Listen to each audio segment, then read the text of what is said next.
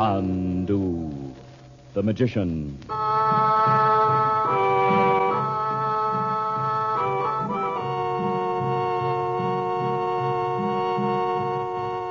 Good evening, ladies and gentlemen. We present for your enjoyment Chandu, the magician. And before our drama begins, we would like to suggest that probably you will like White King better than any other soap you have ever used. If you have a washing machine, listen. Get some White King from your grocer. Put some in your washer. Not so much, mind you, as the soap you've been using. Put in your clothes, put in the water, but not so hot as the water you thought you had to have to get things clean. Then turn on the power, run your wash through, and just see with your own eyes what happens.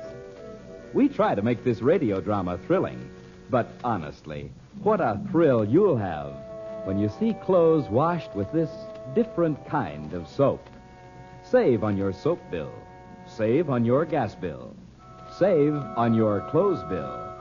You'll say, I love White King granulated soap.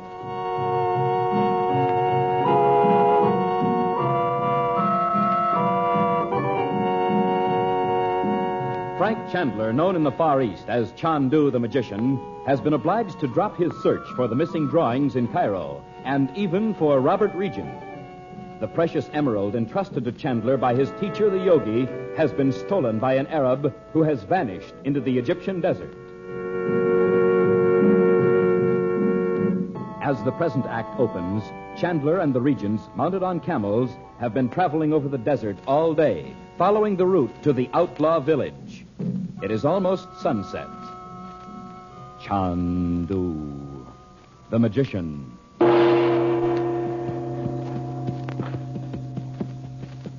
I'll race you to that little hill, Betty. All right, if we don't get bucked off or whatever camels do. Don't get out of sight of the guides, Betty. We won't get lost, Mother. Don't worry. Oh, I don't know how they do it. Are you getting tired, Dot? A little. I'm getting used to the motion of the camel now, though. you know, for a while this morning, I wondered if I could possibly stay on all day. I thought you were pretty quiet this morning. That wasn't the only reason.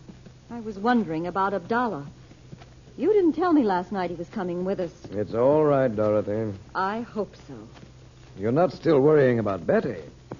Even if she knew he was up ahead with the guide, she's furious with him. You don't know much about girls of her age, do you? She's so overcome with what she calls the glamour of Egypt. And if she knew Abdallah had actually asked our permission to marry her, well, he'd be glamorous all over again, just as he was that first day in the bazaar. Mm, she isn't going to know he's with us. He agreed not to come near her. Well, I don't Now, trust look up him. ahead there. You can't tell what's, which one's Abdallah yourself. Now, can you? Well, no, but I can't trust him, Frank. And I don't see how you can. After all, he's worked for Roxor for ten years. Well, I felt that way too, Dot, until I had that message from the yogi. Well, And besides, he was certainly on my side in the scrap we got into in Roxor's room. yes, but He took I- a chance of getting a knife in his ribs. Why should he do that if he wanted me killed? Well, the whole thing could have been put on for your benefit. What? You didn't know the other man. It, it was Abdallah who recognized him, or pretended to. Oh, come now, Dot. If he wanted to lead us into a trap of some sort, there are many less complicated ways to do it. Well, it's not so unreasonable. What's to prevent Abdallah from just running away with Betty? Hmm, All sorts of things. Well, I don't. Now, don't let this get on your nerves, Dot. Well, what better chance could he want than this? Abdallah hired the guide. Here we are, miles from Cairo in the desert. We'd never find our way back. Hmm, As a matter of fact, I really don't blame you, Dot. I know you can't help being frightened at all the things that have happened since you left home. But if you begin to worry about things you can't help, you'll turn into a jellyfish in emergencies. And that's not at all like you. Well, I still don't think bringing Abdallah along comes under the heading of things we can't help. I told you. He knows where that outlaw village is. Yes, but. Look here. This trip's the best thing in the world to cure Betty of thinking those sheiks are glamorous. When she sees them in their native village, she'll be all over it. Hmm. I'd be a lot more sure of that if I didn't remember I was exactly the same at her age. No doubt. Well, remember the crush I had on Valentino in the Sheik? How could I ever forget it? Now, pull in your camel, Dot. Now, look over there. No, no, they're in the sky. Oh, it's the oasis. Oh, at last. It's a mirage. Are you sure? Well, it's as clear as can be. A big lake and palm trees and white houses. Oh, Bob and Betty ought to see this. Bob, That's odd. is that actually a reflection of the oasis? But of course. Why, you know, I always thought that a mirage was imaginary. No, no. It's almost like a reflection in a mirror. We're right here, Mom. Come here, you and Betty. What are you stopping for, Uncle Frank? The guys are going right on. Whoa, Mohammed. I wish I knew how to say whoa in Arabic. What do you want, Mom? Look up there. It's a mirage. I thought you'd want to see it. An oasis in the sky. Well, where would a mirage be? Is is that the oasis we're headed for, Uncle Frank? I hope not. Why? What's the matter, Frank? It's too far away. I never thought a mirage would look so real. How far away do you suppose it is? The oasis, I mean. Miles. They always are. That's just the trouble. But I thought Abdallah said we'd be there by sunset. He did. Oh, Uncle Frank, I told you you couldn't believe anything he said. It'd be just like him to send us out in the desert where there isn't an oasis for a thousand miles. Oh, don't be silly. That one can't be a thousand miles away. Well, it's too far to reach tonight, I know that. You wait here. But the guides aren't stopping. I'll stop them. You stay right where you are. You know, Mom, when you get over the other side of a hill, it it's like being in the middle of the ocean. I know. Oh, I wish Uncle Frank had left us in Cairo. Why, Mother, aren't you having fun? Well, we're just in his way.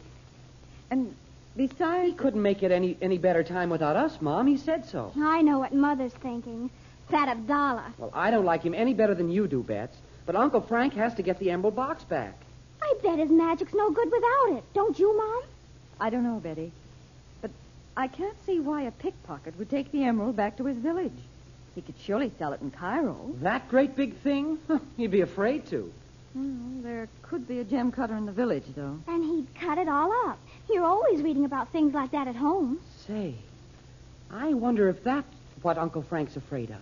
He's sure steamed up about it. No wonder. Remember what we heard the yogi say in the crystal that first night? He told Uncle Frank to guard the emerald with his life. Oh, I can't help thinking this may be just a wild goose chase. And while we're gone, You're thinking about Daddy. yes, I am. Roxor could have arranged this whole thing so he could get your father out of Cairo. Did Abdallah say Dad was in Cairo? Was that what he told you after you sent Betty and me upstairs? No, no. No, he said the last time he saw your father was with Roxor in Algiers. Mother, when was that? Oh, a long time ago, soon after the ship sank. I'll bet Abdallah knows where Dad is right now. Well, he swears he doesn't. He doesn't even know where Roxor is. Hmm, that Abdallah. Oh, Mother, you're shivering. Put on your sweater. Oh, you better put yours on, too, dear. Okay. As soon as the sun goes down, it's freezing. Listen. Am I hearing things, or is that music? You know, I thought I just imagined it. Well, Where could Uncle Frank have gone? Oh, I see him right over there, coming up over the dune. Come on, all of you. The guides are putting up the tents. Are we just going to sleep out in the sand? No, there's a small oasis just over the dune. Is everything all right, Frank? So far, yes. I'm beginning to wonder how you get off a camel once you're on him. I hope he knows I'm just a tourist and not used to camels. One of the guides will help you down, Betty. I'm just going to jump off. A lot of good you'll be, way out here with a broken leg. From jumping off a camel into the sand? You must think my bones are full of jello. Frank, where's that music coming from? You'll see when we get to the top of the hill.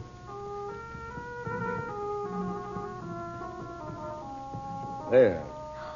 Oh, it's just like a picture.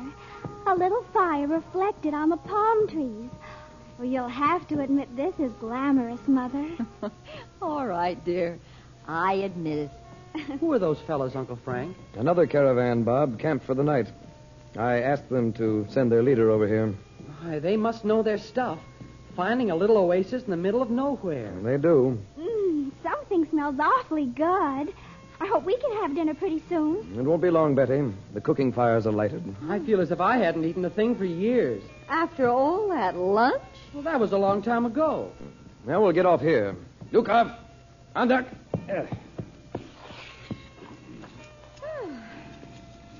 Hey, is that the way you get off, Uncle Frank? Nothing to it. Yeah. Yeah, let me help you, Dot. Oh, wait until the camel kneels. All right. Ah, there you are. Just slide off now. Hey, you all right? Oh, yes, fine. Uh, well, that's it, Bob. Well, now, Betty, I'll help you down. Okay. Oh! Don't you feel funny and little? Yeah. You can all go over there where they're putting up the tents. I bet we'll creak in every joint tomorrow. Thy night be happy, friend. And to thee, peace. Which way does your caravan travel? To Cairo. Is there a message I may bear? No, no, it's not that. Have you seen a man alone on the route today? Aiwa, Yasidi. At the rising of the sun were two men on racing camels. One big and strong, like a man who tries his skill in fighting in the bazaars. Black of hair and Which way were they going? Are they then thy friends? No, they're thieves. I follow them to bring back what they stole from me. Aye. Which way did they go? Into the desert. If thou would see thy goods again, follow them fast. I intend to. Peace be upon thee, friend. And upon thee, peace. Bob, you see that the men put your mother's place in the Precious time will he spend in the desert, seeking the great emerald. And in Cairo, I shall sell it for the price of many camels and many wives.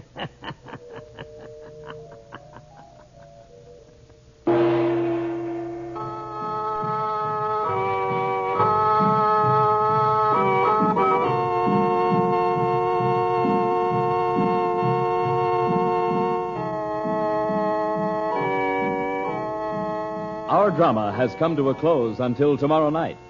But there's drama and maybe magic in millions of homes where White King soap is used. Once upon a time, people thought they should buy two or three kinds of soap. One for washing machine and dishpan, maybe one or two for dainty things like lingerie and stockings. But more and more people discovered White King, the one and only one soap you ever need, no matter who you are, where you live, or what you have to wash. Your husband may be an engineer, or he may work in a bank. You may have sheets and pillowcases no end to wash, or you may live in a hotel with no laundering problem other than your nylons. Listen to these wonderful words. White King gets out the stubbornest dirt. White King protects as with a caress the daintiest fabrics. Know what you'll say? Do you? You'll say this I love White King.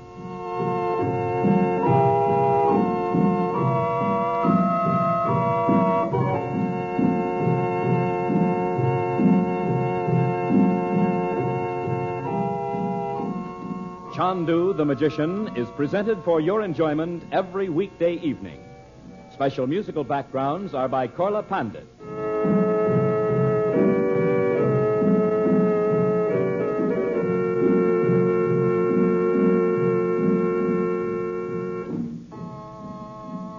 The makers of White King invite you to listen again tomorrow at this same time when the story resumes. Chandu, the magician.